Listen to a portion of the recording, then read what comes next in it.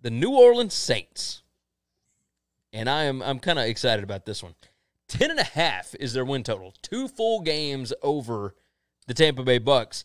They needed wide receiver help, linebacker help, and defensive line help. Um, I don't know that they really got any of that with this class. I, you know, this this whole thing. I mean, they traded away basically their entire draft. You know, uh, Tim, by the way, said two miles from the stadium tailgate party. I, hey, I'm down. I like Tampa. I ain't got a problem with Tampa. Busch Gardens, buddy. Let's do this. Let's do this. I, hey, Tim, hit me up on the DMs. Let's uh let's plan this. We we got to go see Michael in Denver, and we got to go to Tampa. So, hopefully, Chris, you're okay with that. Um, we got a lot of traveling to do this year. The Saints took four draft picks this year. They took uh, Cesar Ruiz out of Michigan in round one, offensive lineman. They took linebacker Zack Baun out of Wisconsin in the third round, which was kind of a steal because there were some people talking about him going early second. They got him at 74. Round three, they traded basically their entire draft to trade up and get tight end Adam Trautman out of Dayton, who nobody knows anything about. If anybody says that they watched Adam Trautman play a full game of football, you are straight line through your teeth right now. Uh, he he's got all the measurables. He looks good. If you look at his highlights, sure, why not? But I don't know. And then in round seven, now this has become a big NFL thing. Have you seen all the stories that have come out about this? About uh, about Tommy Stevens? So apparently no. the Panthers had talked about, you know, signing or, or the Saints thought that the Panthers had been talking to Tommy Stevens that they were going to sign him as an undrafted free agent. So the Saints traded back into the seventh round. They took Tommy Stevens, quarterback out of Mississippi State, in the seventh round, and they took him in hopes of trading him to Carolina. You know, blah blah. It, basically, they took him because somebody in their division wanted him and had already worked out some kind of a deal as an undrafted free agent before the draft was done. So then the Saints traded in and just took him anyway, even if they didn't really want him. Because I mean, the Saints have already got Jameis and Taysom Hill and Drew Brees on the roster. No, nobody's going to do that either. Like you're keeping another team from getting them, but you're not. At some point in time, you've got too many quarterbacks on the roster. So now yeah. you have four quarterbacks on a roster that you can't carry. Right. All right. If you waste a roster spot on, and as soon as you designate him for the practice squad, anybody can go get him. Yeah. Right. So um, you're either going to carry four quarterbacks and give up a, a, a roster spot of the 53 man. That's that's tough to do, brother. Oh yeah, or, Ben Ben on YouTube said they now have three and a half quarterbacks. So yeah, yeah, but but I I think that's a that's a this is a this is a a thing that I don't like at all. They've this is a team that's drafted really well the last couple of years, and uh, and and they've built their team in a pretty impressive way. So it's yeah. hard to question them. But I just I just disagree with worrying about what your other teams in your division are doing.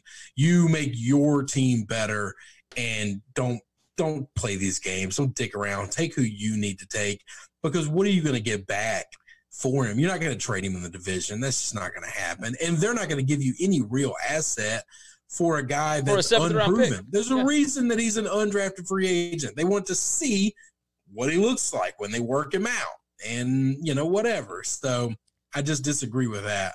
Uh, Michael said Carolina will eventually get him if they want. They're not going to keep him on the roster. And then Matt said, Does Hill really count as a quarterback? Ben responded to him and said, Half a quarterback. Yeah, at Taysom Hill, you know, I don't know that they're actually going to list him. But you're using a, a 53 man roster spot for him every yeah. uh, every every Sunday. That's the, the, the reason this is a, such a big deal is because it is uh, against league policy to make deals with uh, draftees before the draft is over. That's why the Saints took him. It's the whole thing's goofy. Like obviously, we know that teams make deals with players before the draft is done. Otherwise, they wouldn't have contracts done immediately after the draft. As soon as yeah, like I mean, yeah, these guys know if you get. But here's the thing: telling a kid if you don't get drafted, there's nothing wrong with that. I don't think there is having either. a deal in place. But if you don't get drafted, tells them we like you, but we're not going to draft you. Uh, we we like you, but we may not have enough draft picks. Yeah. Well, I that mean, just says they're not going to draft them. If you're working out an undrafted deal with them, you're not drafting that kid. That's a that's a very good point. So the Saints uh, four picks. Um, you know, Ruiz, like, uh, let, us talk about the the ones that they did get. Let, us leave. so the Tommy. first two picks I like. The other two I don't know anything about. Well, the, the quarterback pick I know. I, that was a dumb. Yeah, pick, Tom, Tommy Stevens. Like he he. I mean, he dealt with a and, ton of and injuries. I also don't think Tommy Stevens is projecting to be a good quarterback in the NFL. Either. No, I don't think so. So- I, I think he might be a Taysom Hill kind of guy. Uh, Michael said, "I don't get the Cesar pick with Brees having a couple years left. You'd think they'd get immediate help. I I think they feel like Ruiz could be immediate help. Yeah. I just don't see it. Um, you know, I, I think like here's the thing: the measurables, like you you don't see it with the measurables, but if if you watch the tape of Michigan, like Cesar Ruiz is a beast, and he comes to work on every single play yep. even if he's not that pretty, you know, 6'5, 340 pound, you know, whatever guy, he is still a stud.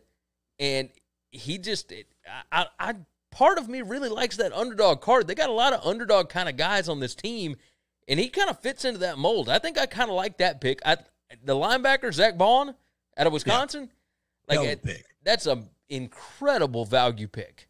Like incredible value. to get him in the third round is ridiculous. I- think that was a really good pick. So those I think are great. Uh, The the tight end Adam Trautman, I don't know the first thing about him, but if if they liked him enough to trade the rest of their draft to go up and get him, you know I'm a I'm a trust Sean Payton and that bunch to make sure that uh that so this is the right I guy. heard I heard some logic by about t- Sean Payton trading all those because they were all sixth and seventh round draft picks that they traded. It was a bunch of them, but he didn't give up anything that wasn't a sixth or a seventh round pick. Okay, Yeah. so the logic behind that is Sean Payton said we're always going to be able to pick up another sixth round pick or a, or a seventh round pick because the, the Vikings aren't going to be able to sign all those guys. And all these other teams are going to drop guys that they drafted too. And yeah, I mean we the, can the just Jags had what 15 picks. I mean it. Yeah. They're not going to So sign them so all. so they're saying that the concept of if there's a guy available that you want and all you're doing is trading large volumes of late round picks and there's nobody late that you've got your eye on that you want to take a flyer on just just deal the picks get the dude you want because all of these other teams are going to cut guys Oh yeah. and when they do, you don't have to cut anybody. You'll actually need two or three more guys, and you'll be able to go pick those guys up for nothing. It's a very smart way of looking at it. Uh, ben said, "This is a good question. Why is everyone getting labeled as Taysom Hill? First it was Jalen, now it's Tommy Stevens. Uh, look, it. I don't know Hang that on. Taysom Hill brought a whole lot to the table anyway. That- My question is this: not why is he? I'm asking a different question than this. Not why is everyone getting labeled as Taysom Hill? Why do we think he's that valuable for a That's- guy? You're going to pull your quarterback, the most important player in all of football, off the field to run a gadget play with this other guy that does something different. Yes, he makes defenses worry and practice and spend time working on things that they don't normally have to work on. You know what? I would rather, if you told me, Chris, you got to play the Saints, but don't worry, five plays in that game, they're going to pull Drew Brees off of it. Now, because of that, we got to spend times trying to, to stop this other kid. And here's the things that he does differently. I would be happy with that because those are five plays that Drew Brees can't make a big play. yeah, hundred percent. I'm I just you. don't understand that the math doesn't make sense. Bill Belichick used to have a rule. Now he obviously changed it a couple years ago, but he used to have a rule. They used to run a lot of trick plays where they ran, you know, the the the flea flickers, all stuff where the you know the end arounds receiver or a running back would throw the football or whatever, and none of them worked very well. And finally, Bill said, "Listen, we have Tom fucking Brady. Nobody throws the football but Tom. That, Yeah. that's my rule, and I'm done." And now, then, now you know- he did have Julian throw five no, touchdown that's what I'm passes. saying. They changed that only for Julian. But even still, they kept Tom on the field.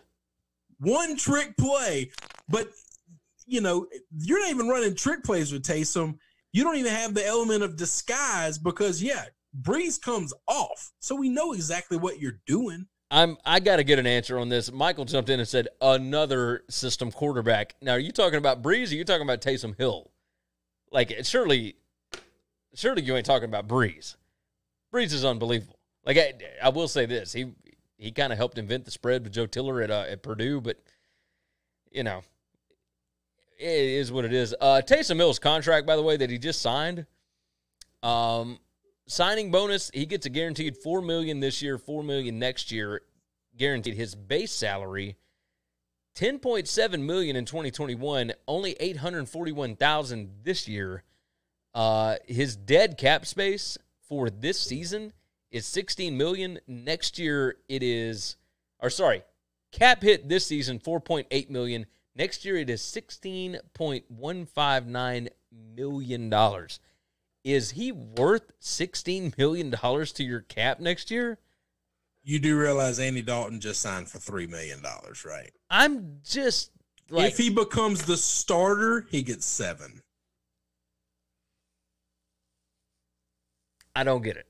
Uh, Michael's talking about Hill. This is a Okay. team that's really bad at cap space, by the way. If you look at the Saints every year, they're one of the they just keep living on borrowed time. I keep thinking that eventually this is a team that's going to go from 12, 13 wins, compete for a Super Bowl to falling off a cliff because at some point in time the cap comes for all of us. It's like Yeah. the government and taxes, baby.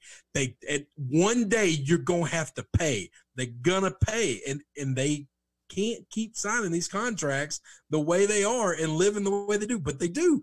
I've been saying that for six, seven years. I know. I, One I day mean, it's the, the, they're going to let everybody go. it's it's really don't. been the last four years, like uh, four years It's been straight. We've been trying to figure out how in the world are they fielding a competitive team, and right now they've got a they've got a great roster right now.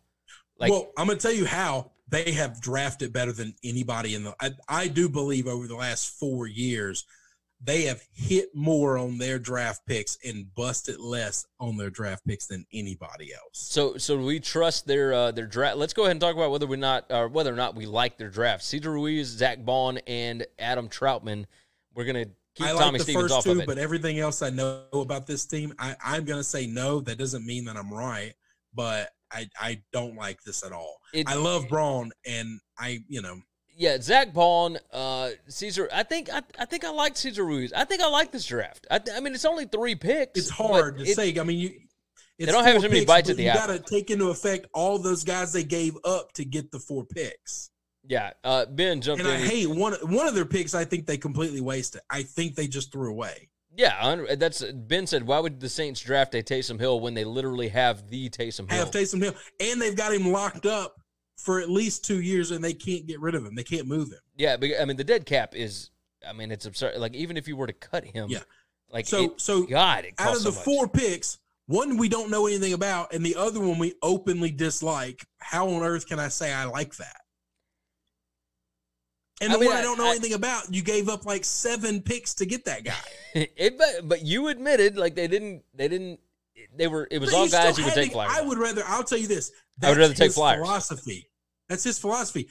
I would rather have control over the flyers I'm taking because if you get the Donovan Peoples Jones, if you get the the the the Kenny Hill or Hamlin or whatever, the guy from Ohio State, if you hit on those guys, then you're not cutting them. Those guys aren't getting cut. You're cut. You're getting guys that are getting cut from other teams. I would rather have control over the guys I bring in and let me do the cutting. That's uh, yeah, I'm with you. Okay, I can understand. I this dude better turn into Gronk. He better turn into Jimmy right. Graham, or he ain't worth it. let me uh, before we close off with the Saints. Let me look and see what his measurables were. Adam Trautman out of Dayton. Uh, he is six foot five. Let's see. He's a kind of an older guy, from what I understand. I think he's a fifth year senior. Red, yeah, redshirt senior. 6'5", 255 pounds. Um, okay, you know he ran a 4.8 40 yard dash. Uh, 18 bench press, 34 and a half vertical jump, 114 broad jump, blah, blah, blah. Uh, three cone drill, 6.78. It's pretty good time. 20 yard shuffle or 20 yard shuttle. Underwear Olympian. This is what you take late. This is not what you give up your whole late for, for for uh for one guy. I mean, if he if he turns out, then the draft is a win. If he didn't, then okay. As a, Maui looks Yes. good there, man. Very majestic looking.